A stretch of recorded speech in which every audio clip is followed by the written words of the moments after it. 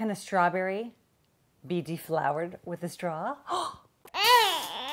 the mom hack will tell you that you can take a strawberry and get rid of those obnoxious little tops with a straw. I've got a straw, which by the way was not an easy thing to find in my house. It was in the junk drawer underneath 500 glitter pens that we never use. The hack is you just insert the straw into the strawberry and the little green part comes out. Ah, get in there. Ah.